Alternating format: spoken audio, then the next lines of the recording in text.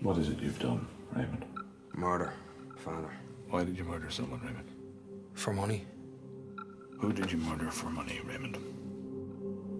You, Father. After I killed them, I walked home to await instructions.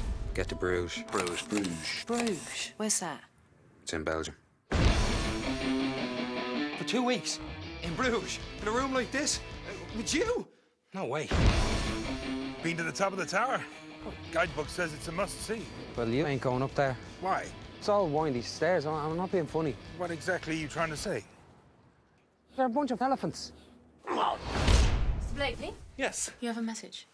Number one, why aren't you in when I told you to be in? You better be in when I call again, or there'll be now to pay. I'm telling you. He swears a lot, doesn't he? Let's go out.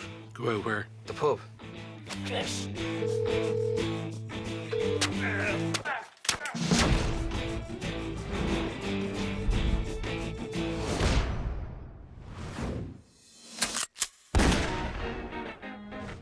Harry, I've got an idea. I'm gonna go back to my room, jump into the canal, see if I can escape. If you go outside and round the corner, you can shoot at me from there and try and get me. I'll go outside, then which way, right or left?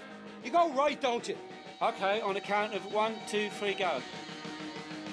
Who says it? Oh, you say it. You guys are crazy. One, two, three, go!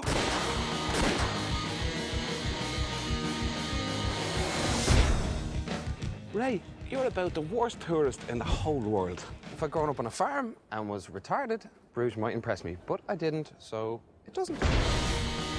She ain't my girlfriend. She's a prostitute. I'm not aware of any prostitutes in Bruges. Just have to look in the right places.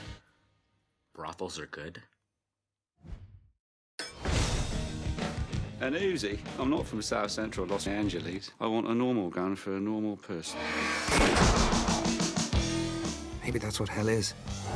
The entire rest of eternity spent in Bruges. Back off, Shorty. You don't know karate. Ah!